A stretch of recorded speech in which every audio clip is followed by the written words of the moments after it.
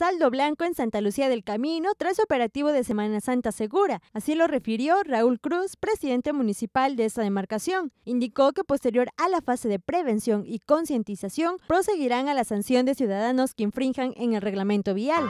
Fue en saldo blanco, estuvimos totalmente coberturando las 32 colonias, las tres agencias y los nueve fraccionamientos, también acudiendo a los auxilios y también a las dudas e información de algunos visitantes y de algunos locales también, por supuesto, ¿no? Excepto a un tema ahí que fue, no en, mi municipio, sino fue en las presas de Guayapan, pero fue un, un, ciudadano, un joven de la colonia Fernando Gómez Sandoval, que vivía dentro del municipio, ¿no? pero no, no fue dentro del municipio. Bueno, ya sigue ahorita ya las sanciones.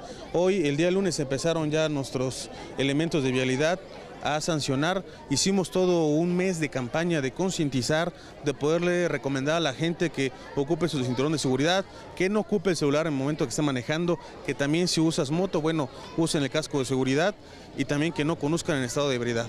Hoy ya se terminó, estamos ya, eh, ya sancionando a las personas que no, que no colaboren. Por otra parte, debido a la existencia de los famosos giros negros, aseguró que durante su gestión no aumentarán las cifras de establecimientos con venta de bebidas alcohólicas y los ya establecidos serán vigilados para su regularización. Será hasta dentro de seis meses cuando se considere en sesión de cabildo si se asignarán permisos para la apertura de más comercios o no dentro de Santa Lucía del Camino. Por supuesto, para empezar no va a haber ningún aumento y no ha existido ningún aumento.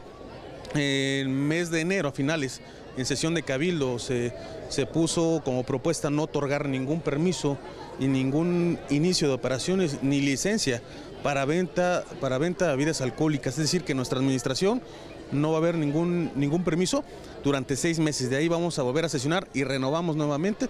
La intención es que los que ya están, bueno, ver, regularizarlos, eh, ordenarlos porque es un problema ya de varios años, de varias administraciones y que desgraciadamente se ha venido acrecentando porque no le da la atención que debe ser el gobierno. Por mi parte, ya está, eh, hemos venido trabajando conjuntamente con el Cabildo para no otorgar ningún permiso. Informó para MBM Televisión Cecilia Bautista.